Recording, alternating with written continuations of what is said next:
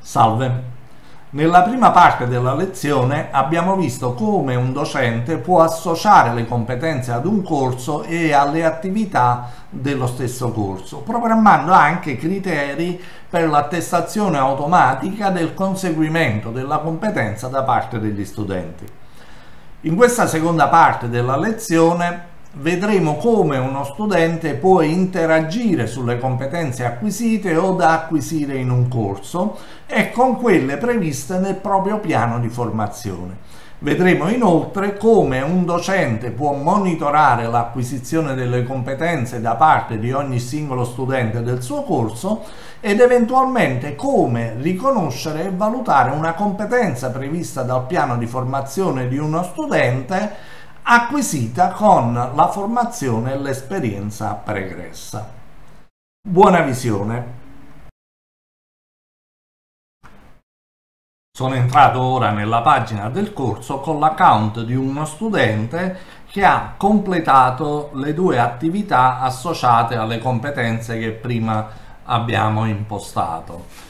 Lo studente può visualizzare lo stato di completamento delle competenze abbinate al corso andando a selezionare la voce competenze nel menu del corso.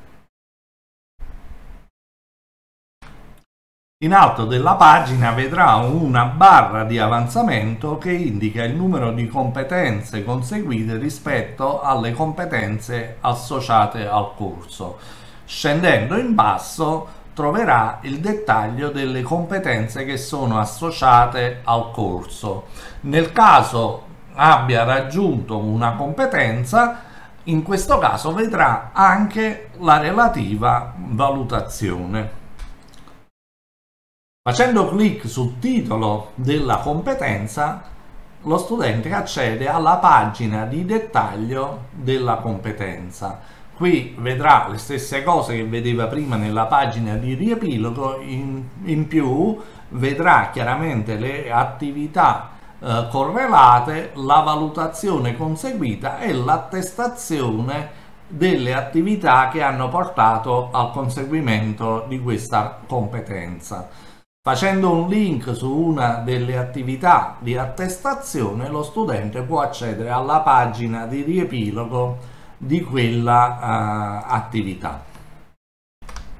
Se a uno studente è stato assegnato un piano di formazione, dalla pagina delle competenze vedrà anche il collegamento della competenza con il relativo piano di formazione.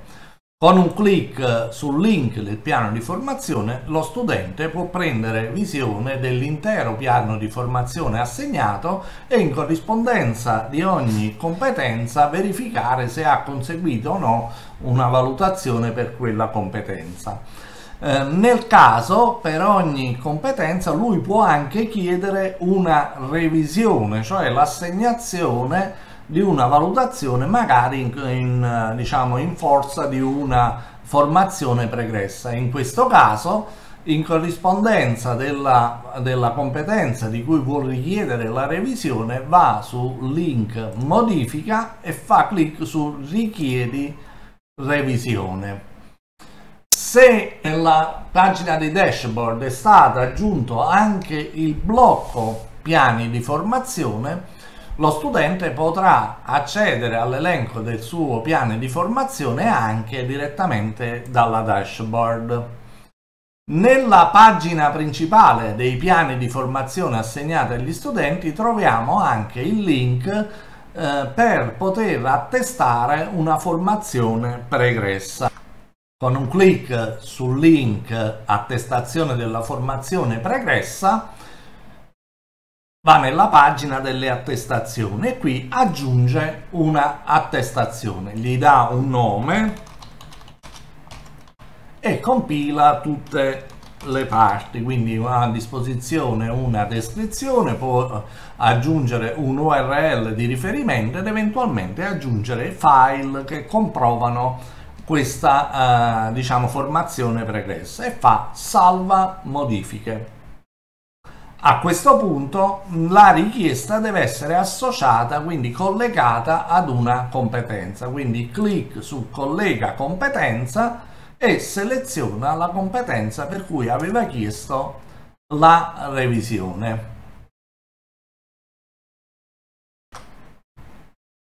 Quando il docente fa accesso alla piattaforma, accede quindi alla sua pagina di dashboard. Se in questa pagina è stato incluso il blocco piani di formazione, il docente vedrà la richiesta di revisione che è stata formulata dallo studente.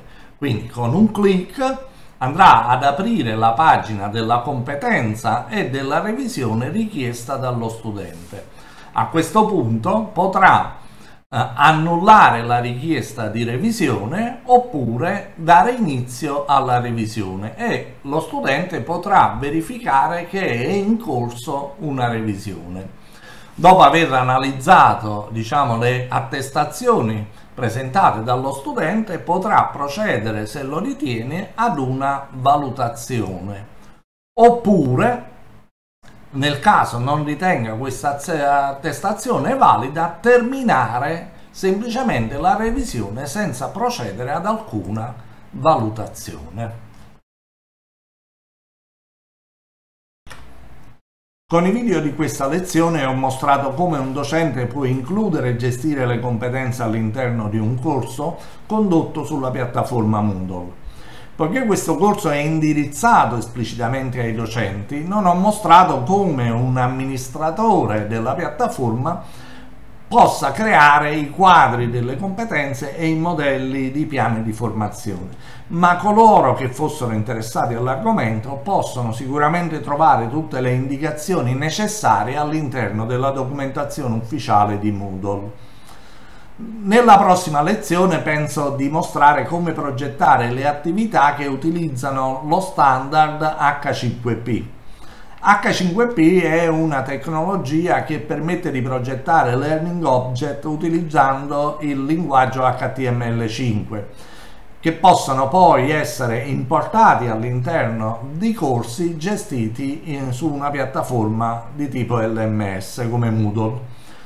Moodle integra in maniera nativa questa tecnologia consentendo sia di importare da altre fonti oggetti didattici H5P all'interno dei propri corsi, sia di progettarli direttamente all'interno della piattaforma.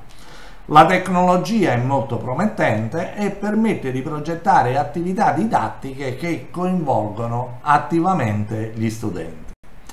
Arrivederci al prossimo video.